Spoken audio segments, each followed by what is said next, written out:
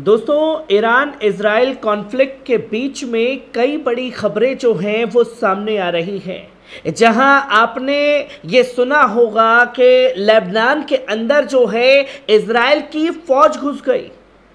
जिसका दावा ना तो इसराइल डिफेंस फोर्स ने किया है और ना ही जिसका दावा लेबनान ने किया है। और लेबनान की तरफ़ से जंग लड़ने वाले हिजबुल्ला ने भी दूर दूर तक ये दावा नहीं किया है कि लेबनान के अंदर इसराइल की फौज घुस चुकी है। पर फितना बाजों ने फितना फैलाना है तो वो फितना फैलाने से बाज नहीं आने वाले। जहाँ यह भी आपको बताया जाएगा कि पूरे गाजा पर कब्जा हो चुका है। ये फितनाबाज तो बीते छह महीने से गाजा के ऊपर कब्जा करा रहे हैं, पर गाजा वासियों के जिस तरीके से वीडियो रमज़ान के मौके पर सामने आए तो मुझे तो ये भी लगने लगा है कि अब इन फितनाबाजों ने इसराइल से कह करके अपना भी प्लॉट गाजा में बुक करा लिया होगा। बहरहाल, ये फितनाबाज जो खबरें लगातार फैलाई जा रही हैं, इन चीज़ों को लेकर के सच जानना, समझना ज़रूरी है। और क्या कुछ हिजबुल्ला और इसराइल के बीच में हुआ है?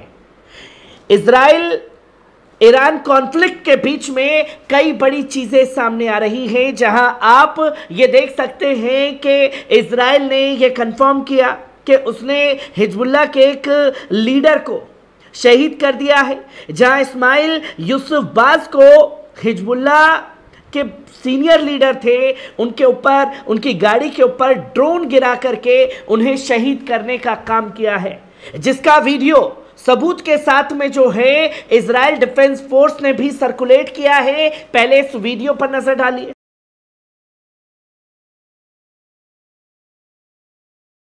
आपने देखा कि किस तरीके से इसराइल डिफेंस फोर्स ने इस वीडियो को सर्कुलेट किया और बताया कि हमने जो है, ये निशाना लगा करके हिजबुल्ला के जो कमांडर हैं, सीनियर लीडर हैं, उन्हें शहीद किया है। आपने देखा कि किस तरीके से फैक्ट के साथ में इसराइल डिफेंस फोर्स एक छोटा सा ड्रोन भी गाड़ी के ऊपर गिरा रहा है, हिजबुल्ला के सीनियर लीडर को शहीद कर रहा है तो वो उसका प्रूफ सामने रखता है।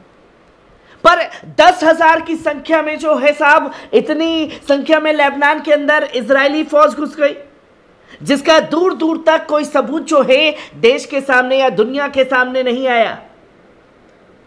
और जब इस हरकत को अंजाम दिया गया है तो इसका पलटवार करते हुए भी हिजबुल्ला ने कई बड़े कदम उठा करके एक आईना दिखा दिया है इसराइल को, जहाँ भारी संख्या में बमबारी जो है, वो उसके ठिकानों पर की गई। इसराइल के ठिकानों पर बमबारी हुई, जिसमें चार से ज़्यादा इसराइली सैनिक जो हैं, वो मारे गए। जिसके बारे में खुद इंटरनेशनल मीडिया बताता हुआ दिखाई दे रहा है, पर किसी मीडिया ने यह नहीं बताया कि लेबनान के अंदर इजरायली फौज घुस गई। पर अगर इसराइल किसी के ऊपर हमला कर रहा है तो उसकी चीज़ों को सामने रख रहा है। और यही चीज़ें जो हैं इंटरनेशनल मीडिया भी बोल रहा है कि हमला हुआ, उसमें एक शहीद हुए तो उसके बदले में चार इजरायली सैनिक भी बमबारी में मारे गए हैं, जिसकी तमाम चीज़ों को सामने रखा है। और लगातार चार बड़े हमले, चार जगहों पर कर करके चार बड़े ऑपरेशन चलाए गए हैं, खासतौर पर हिजबुल्ला द्वारा। जिसकी जानकारी जो है वो सामने आई और ये बताया गया कि ईरान के बाद में ये बड़े हमले किए गए, जिसमें टीवी हिजबुल्ला ने भी, जो हिजबुल्ला का टीवी चैनल है, उसने बताया कि जायोनिस्ट रडार पर हैं। और ये बताया उसने कि अलमनार जो एक जगह है, उस जगह पर डायरेक्ट हमला करके इजरायली साइट्स को हमने निशाना बनाया। दूसरा शिबा फॉर्म पर भी हमने आज बड़े हमले करके जो है, इजरायली सैनिकों को चौंकाया है। तो वहीं उन्होंने साफ़ तौर पर बताया कि काफिर सुबह जो जगह है इसराइली मिलिट्री की जगह थी, उस जगह पर भी बड़े हमले करके हमने भारी नुकसान इसराइल को पहुँचाया है। जिसकी तमाम चीज़ें जो हैं वो सामने आई हैं। और जब ये चीज़ें सामने आई हैं तो साफ़ तौर पर कताइब हिजबुल्ला का भी बयान, जो लगातार हमले एक दूसरे के ऊपर हो रहे हैं, उसको लेकर के सर्कुलेट किया गया है। जहाँ कताई हिजबुल्ला ने भी साफ़ तौर पर कह दिया है कि हम भी इस मामले में शांत नहीं बैठने वाले और हम ये जायोनी को और अमेरिका को ये संदेश देना चाहते हैं और पूरी दुनिया को बताना चाहते हैं कि अमेरिका और इसराइल सिर्फ़ एक ही भाषा समझते हैं, वो है हथियार की, जिसमें कताई हिजबुल्ला ने एक पैगाम तमाम संगठन के लोगों को दिया, ईरान को दिया, जहाँ उसने साफ़ तौर पर कहा कि ऑपरेशन प्रॉमिस जो है, अब शुरू किया जाएगा इसराइल के हर एक एक्शन के बाद। अब ईरान के ऊपर जो है, ईरान के ऊपर हमला किया गया, वो भी सीरिया के अंदर।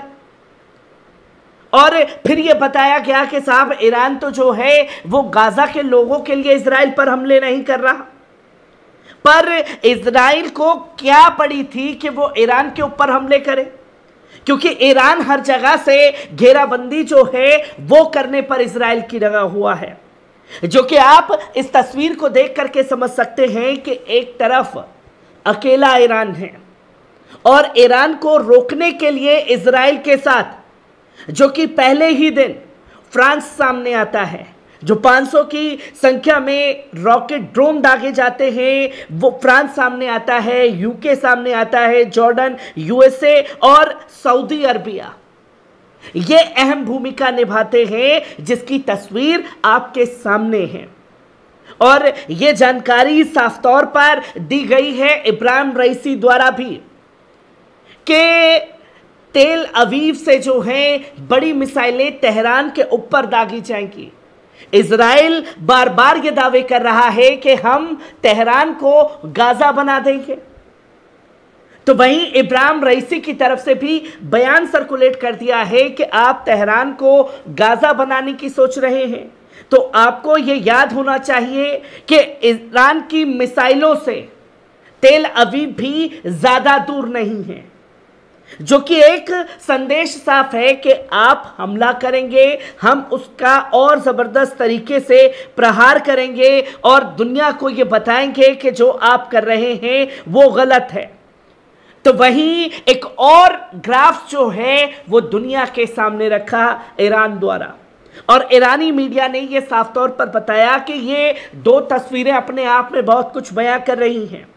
जहाँ एक तरफ़ जायोनियों के हो रहे हमले हैं, जिनके निशाने पर मजलूम फिलिस्तीनी हैं। और ईरान के हमलों में सिर्फ़ निशाने पर इसराइल का, इसराइल डिफेंस फोर्स, उसका मौसाद, उसके आयरन डोम और जितने सैन्य ठिकाने हैं, वो उसके निशाने पर हैं। पर इस बीच हिजबुल्ला से होते क्लैश को लेकर के भी कई बड़ी अपडेट सामने आई। हर एक खबर से आपको रूबरू कराता रहूँगा। दीजिए इजाज़त। शुक्रिया।